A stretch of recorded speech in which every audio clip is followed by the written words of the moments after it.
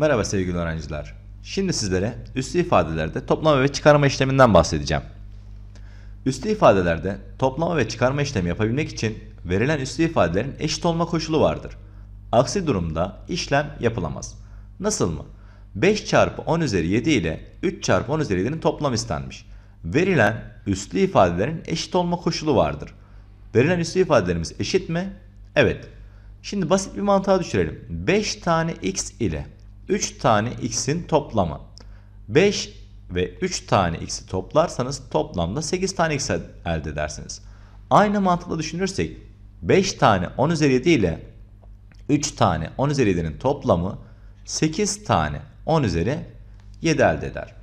Aynı mantıkta verilen üslü ifadelerimiz eşit midir? Eşit. O zaman bunları toplayabiliriz. Nasıl mı? Yine basit indirgeyelim. 3 tane a artı 7 tane a eksi a. Şimdi bunu eğer hatırlarsanız a dediğimiz kavramda bir tane a anlamına gelir. Yani 3 ile 7'yi toplarsınız 10, ondan biri çıkarırsınız 9 tane a dersiniz.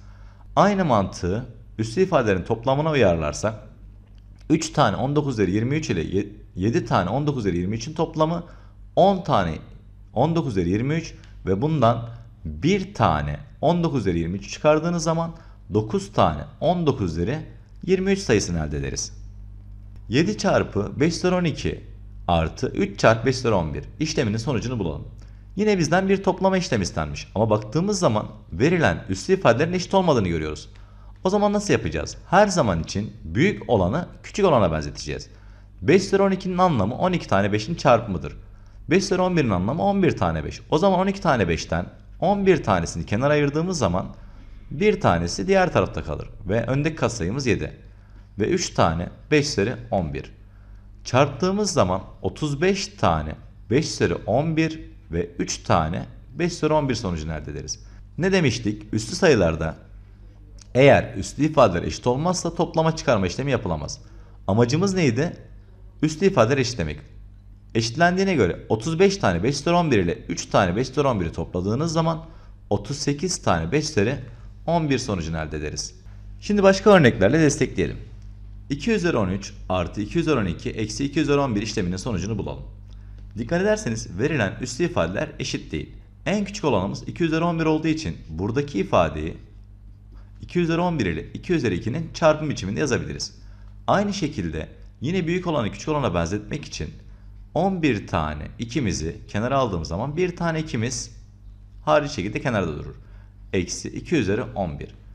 Bunların sayısal değerlerini yazalım. 2 üzeri 2'nin sayısal değeri 4 çarpı 2 üzeri 11 artı 2 çarpı 2 üzeri 11 eksi 1 tane 2 üzeri 11 sonucunu elde ederiz. Verilen üslü ifadeler eşit olduğundan dolayı toplama çıkarma işlemi şimdi yapılabilir. 4 ile 2'yi topladınız 6, 6'dan 1'i çıkardığınız zaman 5 tane 2 üzeri 11 sonucunu elde ederiz. Aynı mantıkta 10 üzeri 25 eksi 10 üzeri 24 eksi 10 üzeri 23. En küçük olan üstü sayımız 10 üzeri 23. O zaman 10 üzeri 25 sayısını 10 üzeri 23 ve 10 üzeri 2 biçiminde yazabiliriz. Yani büyük olanı küçük olana benzetmeye çalıştık. Aynı şekilde 10 üzeri 24 sayısını 10 üzeri 23 ile 10 üzeri 1'in çarpımı şeklinde yazabiliriz. Eksi 1 tane 10 üzeri 23 yazdık. Onun karesinin sayısal değeri 100 çarpı 10 üzeri 23 eksi 10 çarpı 10 üzeri 23 eksi 1 çarpı 10 üzeri 23 sonucunu elde ederiz. Amacımız neydi? Amacımız verilen üslü ifadeleri eşitlemek. Eşitlendikten sonrasında 100 eksi 10 90 90 eksi 1 89 tane 10 üzeri 23 sonucunu elde ederiz. Üslü ifadelerde çarpma işlemi. Aşağıda verilen çarpma işlemlerinin sonuçlarını birlikte bulalım. 3 üzeri 4. Anlayacağımız dilde 4 adet 3'ün çarpımı 1, 2, 3, 4. 3 üzeri 5'in anlamı 5 adet 3'ün çarpımı demek. Dikkat ederseniz 9 adet 3'ün çarpımı bunu üstü ifade olarak 3 üzeri 9 şeklinde gösterebiliriz. Buradan eğer dikkat ederseniz verilen üstleri toplamış gibi olduk. Aynı şekilde 2 üzeri 3 3 adet 2'nin çarpımı demek. 2 üzeri 4 4 adet 2'nin çarpımı demek. Dikkat ederseniz 7 adet 2'nin çarpımı üslü ifade olarak 2 üzeri 7 biçiminde gösterilir. Yani üstleri toplamış oldum. Üslü ifadelerde çarpma işlemi yaparken tabanlar eşit ise üstler toplanır. Yani a üzeri x ile a üzeri y'nin çarpımı tabanlar eşit olduğundan dolayı üstler toplanıp a üzeri x artı y biçiminde yazılır. 5 üzeri 7, 5 üzeri 12 sayıların çarpımı istenmiş. Tabanlar eşit olduğundan dolayı 5 üzeri 7 artı 12 buradan da 5 üzeri 19 sonucunu elde ederiz. Aynı şekilde tabanlar eşitse üstler toplanır. Yani 7 üzeri eksi 8 ile eksi 11 sayılarını topladığımız zaman 7 üzeri eksi 19 sonucunu elde ederiz. Yine baktığımız zaman çarpım durumunda ve tabanlar eşit. Çarpım durumunda tabanlar eşitse üstler toplanırdı. Yani 9 üzeri eksi 14 ile artı 23 sayılarını toplayacağız. Tam sayılar hatırlarsanız farklı işaretli ifadelerde büyük sayıdan mutlak değerce büyük olan sayıdan küçük olan sayı çıkarılır ve büyük olan işareti verilirdi. Yani 9 üzeri 9 sonucunu elde ederiz. Aşağıda verilen işlemleri yapalım. 2 üzeri 4'ün 3. kuvveti. Buradaki 3. kuvvet içerideki ifadeden 3 tanesinin çarpımını söylemekte. Yani 2 üzeri 4, 2 üzeri 4, 2 üzeri 4. Burayı da eğer hatırlarsanız tabanlar eşitse üstler toplanırdı. Yani 2 üzeri 4 artı 4 artı 4. Burası da 2 üzeri çarpma toplamanın kısa yolu olduğu için 3 tane 4. Yani 2 üzeri 12. Dikkat ederseniz üstleri çarpmış oldum. Aynı şekilde 3 üzeri 2'nin 5. kuvveti. Buradaki 5. kuvvet içerideki ifadeden 5 tanesinin çarpımını göstermekte. Yani 5 adet 3 üzeri 2'nin çarpımını göstermekte. Burayı da tabanlar eşit olduğundan dolayı 3 üzeri 5 adet 2'nin toplamı şeklinde yazabiliriz. Çarpma toplamanın kısa yolu olduğundan dolayı 5 tane 2'nin toplamını 5 çarpı 2 şeklinde yazabiliriz. Buradan da 3 üzeri 10 sonucunu elde ederiz. Yine dikkat ederseniz üstleri çarpmış olduk. Üslü ifadelerde üstün üssü varsa üstler çarpılır. Yani a üzeri x'in y'ninci kuvveti varsa a üzeri x çarpı y biçiminde yazılır. Yani üstler çarpılır. Aynı şekilde 7 üzeri 5'in 8. kuvveti üssün üssü olduğundan dolayı 7 üzeri 5 çarpı 8'den 7 üzeri 40 sonucunu elde edersiniz.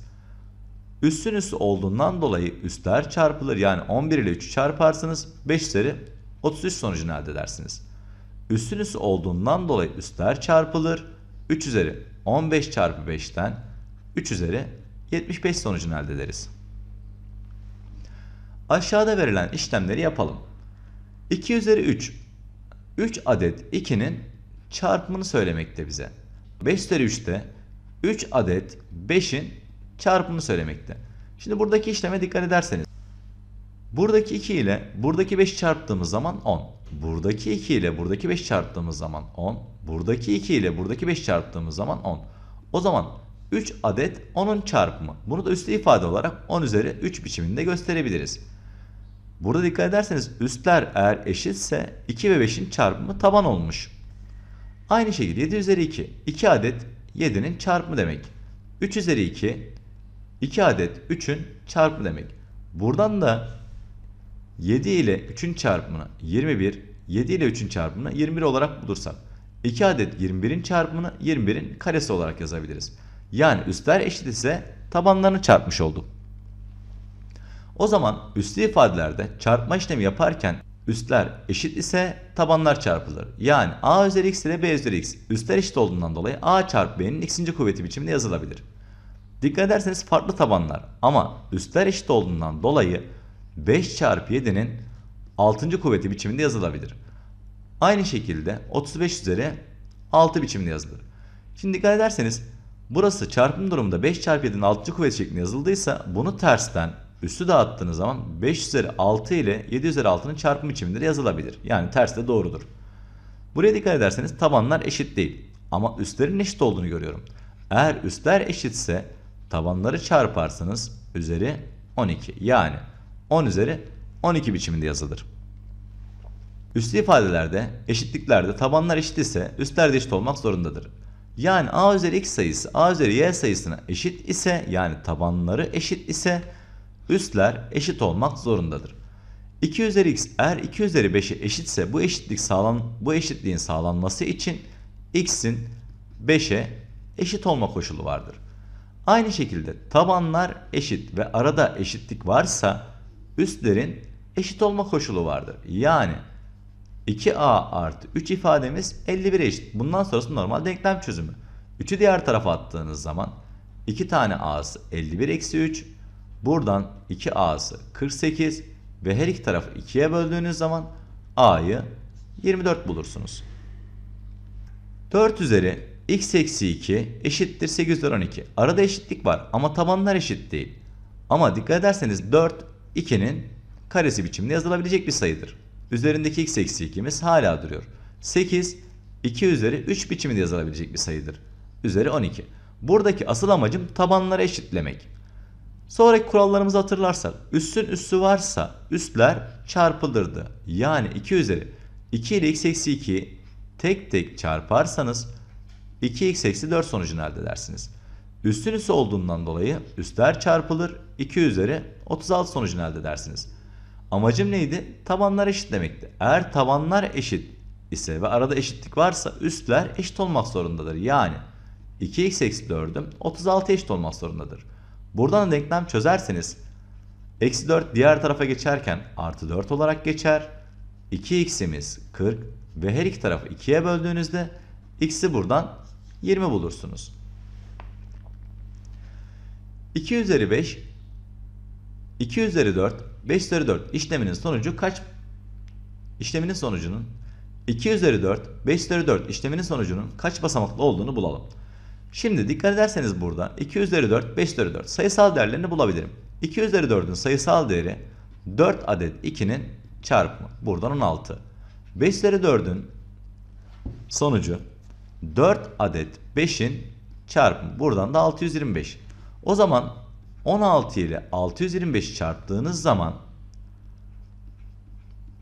10.000 sonucunu elde edersiniz. Bu da 5 basamaklı bir sayıdır. Bunun yerine 2 üzeri 4 ile 5 üzeri 4'ü çarpalım. Dikkat ederseniz üstler eşit. Eğer üstler eşitse tabanlar çarpılırdı. Yani 10 üzeri 4 biçiminde yazılır. 10 üzeri 4 de hatırlarsanız bir yazıp arkasına 4 adet 0 konulması anlamına geliyordu. Sayımız o zaman 5 basamaklı bir sayıdır. Buradan şöyle bir genelleme yapılabilir. Eğer basamakla ilgili bir soru soruluyorsa size asıl amacınız 2'nin ve 5'in kuvvetlerini birleştirip 10 sayısını elde etmek olsun. 2 üzeri 15 çarpı 5 üzeri 10 işleminin sonucu kaç basamaklıdır? Bir önceki örneği eğer hatırlarsanız sayısal değerlerini bulup rahat rahat sonuca gidebildik. Ama burada 2 üzeri 15'in sayısal değerini bulmak bayağı bir zor. 5 üzeri 10'un da sayısal değerini bulmak zor. O zaman ne yapacağız? 2 üzeri 15 ile 5 üzeri 10'u birleştireceğiz. Birleştirebilmek için ya tabanları eşitlememiz gerekiyor ya üstleri eşitlememiz gerekiyor. 2'nin hiçbir kuvveti 5 olmayacağından veya 5'in kuvvetiyle kesişme, kesişmeyeceğinden dolayı üstleri eşitleyeceğim. Nasıl mı?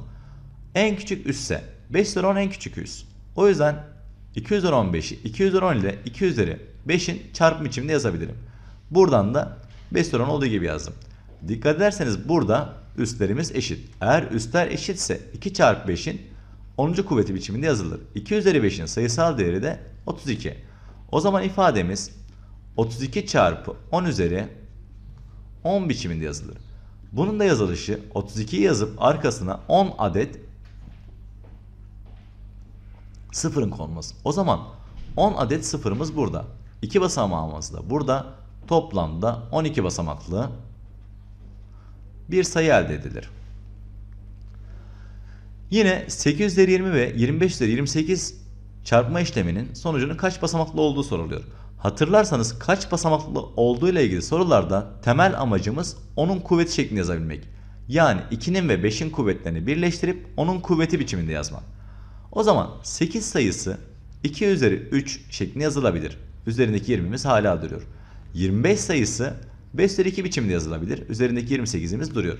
Hatırlarsanız üstün üstü varsa üstler çarpılırdı. Yani 3 ile 20'yi çarparsanız 2 üzeri 60 sonucunu elde edersiniz. Üstün üstü varsa 2 ile 28'i çarparsınız 5 üzeri 56 sonucunu elde edersiniz. Şimdi bunları birleştirmem gerekiyor. 60 tane 2 ve 56 tane 5'im var. Her zaman için küçük olan da birleşir. Yani 2 üzeri 56 ve 2 üzeri 4 biçiminde yazarsam iki sayısını ve 5 üzeri 56. Amacım neydi? 2'yi ve 5'i birleştirebilmek. Nasıl birleştirirdim? Üstleri eşit olursa. O zaman buradaki ifadelerin üstleri eşit olduğundan dolayı bunun yerine 2 çarpı 5'in 56. kuvveti yazılabilir. Baş tarafta unutmamanız gereken katsayımız 2 üzeri 4. O zaman 2 üzeri 4'ün sayısal değeri 16. 2 ile 5'i çarparsanız 10 üzeri 56. Bunun yazılmış hali 16 yazıp 56 tane sıfır koymak. 56 tane sıfırımız burada. 2 basamağımızda 16'da topladığınız zaman 58 basamaklı bir sayı elde edersiniz. Şimdi 2 üzeri x sayısı a, 3 üzeri x sayısı b olduğuna göre 72 üzeri x sayısının a ve b türünden eşitini bulalım. Bu tip sorularda temel amacınız büyük olan sayıyı parçalayıp küçük olan sayılar biçiminde yazmak. Nasıl mı? 72 asal çarpan algoritmasını kullanarak asal çarpandan ayıralım. 2'ye böldüğümüz zaman 36 kere var. 2'ye böldüğümüz zaman 18. 2'ye böldüğümüz zaman 9. 3'e böldüğümüz zaman 3 ve 3'e böldüğümüz zaman 1 kere var. O zaman 72 sayısının yerine 3 adet 2'nin çarpımı ve 2 adet 3'ün çarpımını yazabilirim. Üzerindeki x'imiz hala duruyor. Şimdi buradan amacım 2 üzeri x'i ve 3 üzeri x'i elde etmek. Buradaki üs hepsinde ortak olduğundan dolayı hepsine dağıtabilirim. Dağıttığımız zaman burası 2 üzeri x, 2 üzeri x, 2 üzeri x, 3 üzeri x ve 3 üzeri x'in çarpım biçiminde yazılır. Şimdi dikkat ederseniz 2 üzeri x'in sayısal değeri bize a olarak verilmiş. O zaman 2 üzeri x'e yeni ismiyle seslenelim yani a diyelim. Buradaki 2 üzeri x'e yeni ismiyle seslenelim a diyelim ve buraya da a diyelim. 3 üzeri x'in yeni ismi b. O zaman 3 üzeri x'in yerine b diyelim ve b diyelim. Çarptığınız zaman bakın 3 adet a'nın çarpımını a küp, 2 adet b'nin çarpımını da b kare biçiminde yazabiliriz. Bir çocuk her gün kumbarasına 3 üzeri 4 lira para atıyor. 3 üzeri 5 hafta sonra kumbarada kaç lira para birikir? Şimdi her gün kumbaranıza 2 lira para attığınızı düşünürseniz 5. günün sonunda kaç lira paranız var diye sorulursa 2 ile 5'in çarpımı kadar paranız var dersiniz. O zaman her gün 3 üzeri 4 lira para atıyor. 3 üzeri 5 haftayı güne çevirmem gerekiyor. Bir hafta 7 gün. 3 üzeri 5 hafta o zaman 7 çarpı 3 üzeri 5. O zaman 3 üzeri 4 ile 7 çarpı 3 üzeri 5'i çarpacağız. Çarpma işleminde tabanlar eşitse üstler toplanır. Yani 7 çarpı 3 üzeri 9 lira parası olur denir. Hepinize iyi çalışmalar diliyorum.